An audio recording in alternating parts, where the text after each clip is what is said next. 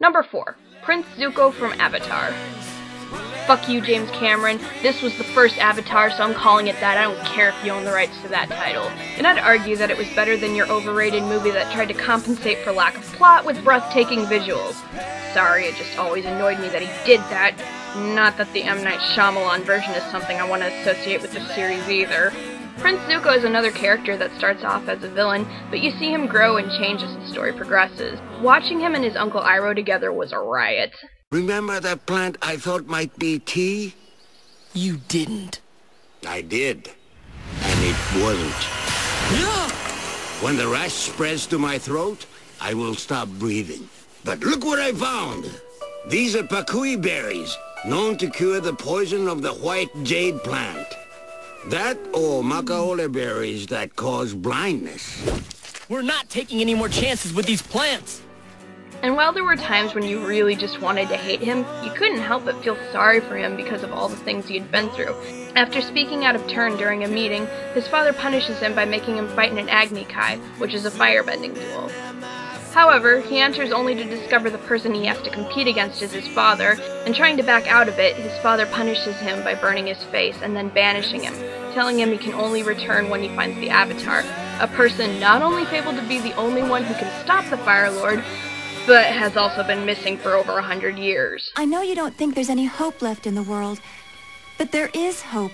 The Avatar has returned. I know. What I love about him is he's really a deep character. You see his pain as he struggles through the series, and even at one point he tries to let it all go and turn over a new leaf, but again the tables turn and he finds himself sucked back into his old ways simply because he wants his father to love him. By the end of it, when he finally decides who he is and where he stands, I gained a new respect for him. He was probably the most developed, followed quickly by Aang, who obviously grows a lot throughout the series, but aside from looking better than Aang, he also didn't have that annoying need to end things peacefully. Sorry, Aang, but you're an idiot. I boys like, boys like, boys like. Number 3. Craig Boone and Vulpes Inculta from Fallout New Vegas. Okay, yes, this is probably cheating because they technically aren't cartoons, they're from a video game, but they're not real people, so I'm gonna count it. For those unfamiliar, the premise of the Fallout games is that the world has undergone a nuclear war, and the only survivors were living in underground vaults. Many years later, they emerged and began to start over, though the Earth, while being very irradiated in some areas, is now infested with mutated creatures along with other problems. However, Las Vegas, or New Vegas as it was renamed, was barely touched and is one of the most habitable places in the US. You start the game as a courier who was shot in the head while making a very strange delivery with a package containing a platinum chip that was stolen from you by your attackers. And basically your job is to hunt down the men who did it, find out why the chip was so important, and then decide what you're gonna do. While this is going on, you have your choice of deciding which of the two warring sides who are trying to take over New Vegas you want to side up with and help. One of them is the NCR, not necessarily good guys, but the lesser of the two evils. The second is a group known as Caesar's Legion, a group of slavers and, to put it bluntly, savages, who seem more interested in pillaging and de-evolving humanity rather than helping it. You're likely to run into Vulpes first in the game when you come across the town of Nipton. Just the introduction you get for this guy is badass and creepy. As you enter the town, the first thing you notice is the black smoke, then you're greeted by some annoying powder ganger telling you he's won a lottery and then he runs off. As you wander into the town, you start to notice heads on pikes, people crucified along the roads, and then Vulpes approaches you. Don't worry. I won't have you lashed to a cross like the rest of these degenerates. It's useful that you happen by. I want you to witness the fate of the town of Nipton, to memorize every detail. And then, when you move on, I want you to teach everyone you meet the lesson that Caesar's Legion taught here. This one is a favorite of Caesar's, or Kaisar's, depending on who you talk to.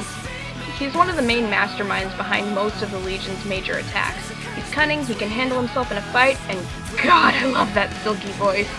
I'm a sucker for a bad guy, this is nothing new. But a bad guy with a velvety tongue is my kryptonite. You never really learn much more about him, and other than I think just one or two side missions, he doesn't really get involved with your character throughout the game. He just sort of comes and goes and remains a mystery. Damn, I love that. After meeting Vulpes, you'll meet Craig Boone shortly after as you enter the town of Novac. God damn it. Don't sneak up on me like that. What do you want? When you meet Boone, he immediately triggers a quest called One for My Baby, where he sends you out to find out who sold his wife into slavery and have the guilty party brought in range of his gun so he can kill him. If you complete the quest the right way, you can convince him to become your follower, and he'll tag along with you throughout the game and protect you. And as you work with him, you'll start to be able to guess why I love this character.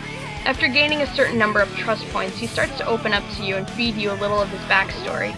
He was a sniper with the NCR, but after being sent on a mission that wound up turning into an unplanned massacre that killed women and children, he left and struggled with the guilt of murdering innocent people even though he was just obeying orders. At some point after, he met and fell in love with his wife Carla. They married and headed to Novac with his friend Manny. Carla, however, was homesick for the strip and apparently came off as very rude about it to everyone around her except for Boone. Until one fateful night when she was captured by the Legion. After hunting her down, Boone finds her being auctioned off into slavery, surrounded by hundreds of legionaries, and since it was just him and his rifle, he did the only thing he could think to do. He took her life in a mercy killing to spare her from slavery. And right there you have it, the tragic backstory. He's handsome, he's got a sexy voice, which is actually pretty funny when you compare it to the other voices Jason Marsden has done. Um, I'm uh, Chester McBadbat. I'm Philly on parents. I got braces. I live in a trailer park. Munch, munch, munch, munch, munch. He's also hard to kill, a damn good shot, and an all-out badass. And, if you're a dick like me, pissing him off can lead to some funny results. I'd really like my beret back, please. What is it with me and bald guys, anyway? I think she just made fun of my hair again. Honey! I know what boys like, boys like, boys like. Number 2, Jafar. Contrary to my usual style of loving a villain who has the ability to be good, this guy's just evil, and I love it. Oh. Have a cracker, pretty Polly. pretty Polly. Your Majesty certainly has a way with dumb animals. I don't know what exactly I liked best about him, his elegant nature or his voice. I know the plot of an advisor plotting to overthrow the king and take over the kingdom is a cliche as old as time, but it was still amusing in this case. Then again, I've loved both Jafar and Scar, and they were both drawn by the same person, so maybe it's just something in that style that I liked. Whatever it was, it definitely had me hooked at a very young age. I will have to say, though, my favorite scenes of Jafar were watching him interact back and forth with Iago. That's right, that character I've hated so much and gotten so much crap for hating. Why did I like those scenes? Probably because Jafar abused the shit out of him. We got a big problem here, a big... Yes. Oh, if you can check... The law.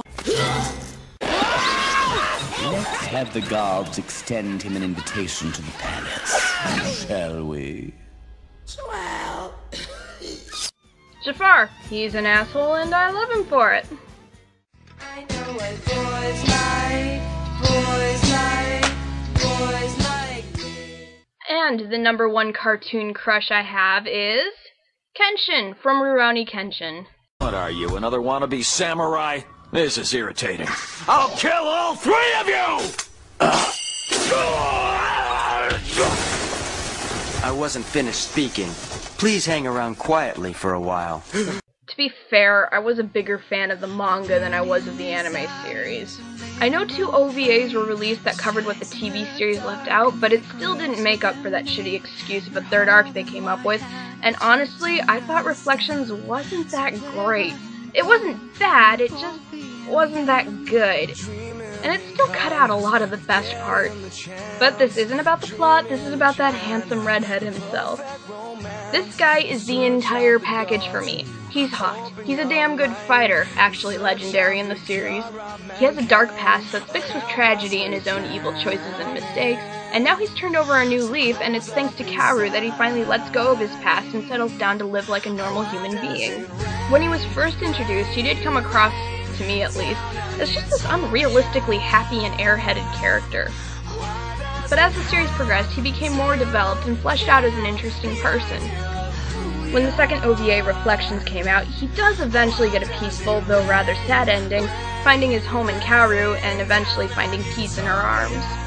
which is quite different from the ending of Trust and Betrayal, the prequel of the series, which ended with him seeming almost trapped as being the bad guy, while at the same time having to deal with the loss of Tomoe, his wife?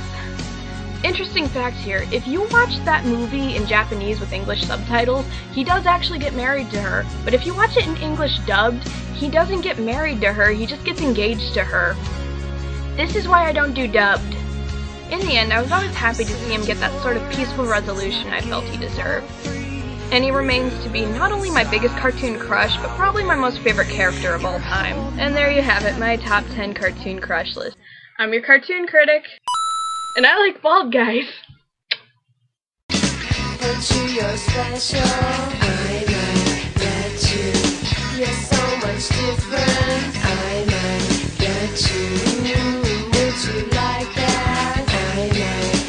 You,